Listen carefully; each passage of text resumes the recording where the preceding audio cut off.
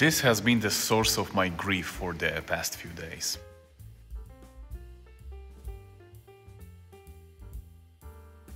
Everything started out very innocently. I got 6 Dell servers and split them into two Proxmox cluster, 3 nodes each. Using Lifecycle Manager, I upgraded the servers to the latest firmware, BIOS, and so on. On the first cluster, I had completely no issues. On the second one, however, I noticed I cannot achieve higher upload speeds than around 6 megabits on 10 gigabit link across all three servers. It's a bit funny how I found it out. I migrated one of the GitLab environments to the new server and got complaints that suddenly cloning repositories became very slow. I suspected that maybe storage is acting up, but a quick speed test proved that it was a network issue. After that, it became apparent that it's not the VM itself that's at fault, but the problem lies in the hypervisor. I've done more tests with iperf3 and all three servers in the cluster have the same issue. All in all, everything seems to work, it's just that upload is capped at around 6 megabits. And this is how my descent into madness began. So what's the difference between working and non-working servers? As far as I'm concerned, there's none. They are running the same version of Proxmox with the same kernel, they have the same 10 gigabit cards, their firmware is the same and everything uses the same driver slash kernel module. Both digital and hardware twins. This is a good moment to introduce the Troublemaker card. It's an Intel X710, a dual port 10 gigabit interface. On Proxmox side, the interfaces are configured into LACP bond, and on top of that I'm configuring bridges corresponding to connected VLANs. SwitchStack has a corresponding aggregated interface. The interface bonding is an absolute must-have for me, as it provides seamless redundancy in case one of the switches in the stack fails or fiber gets unplugged or damaged. It's a simple virtual interface, an abstraction hovering over physical interfaces. So what do you do when you notice something like this? Well, you should read kernel messages very carefully. But I performed firmware upgrades on the faulty servers.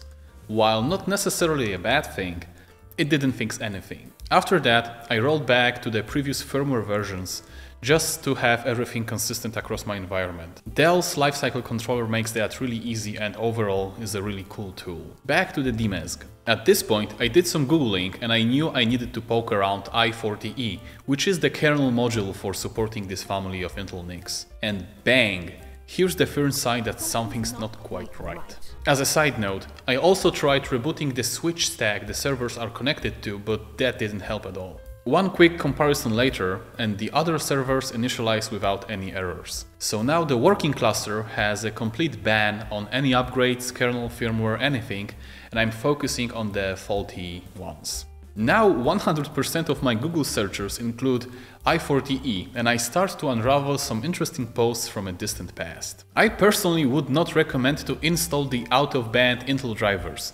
More on that in a second. Oh look, an official Intel driver repository.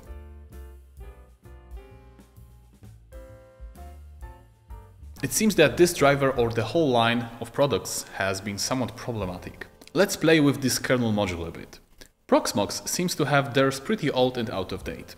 I've downloaded the Intel's i40e repo and compiled the latest version. Funny enough, it only made things worse, since then I lost all connectivity to the network and I couldn't ping anything. I've tried all the versions that I was able to compile, since only recent handful of them supported Proxmox kernel. But not only that, I was still getting kernel error messages, albeit uh, they were a bit different. Finally, I spent 15 minutes fiddling around because I forgot I can easily do make uninstall if I want to go back to the default module. Here's the worst part. I was still getting the DMESG error messages, but somehow, for a brief moment, I was able to get normal transfer speeds after all of that ordeal. Few reboots later and it reverted back to 6 megabits though. And here I am now, still trying to solve this.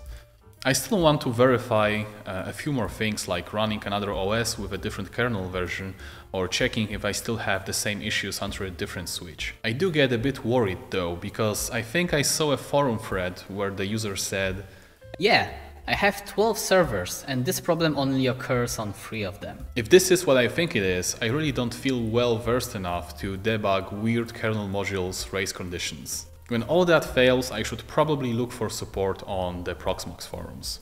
Oh yeah, I almost forgot. Please subscribe, like and all that. It helps me prove to my boss that this thing I'm doing is not a waste of time. So if I'll have any update, I'll be sure to post it because I think this problem is really obscure. Until then, see you next time.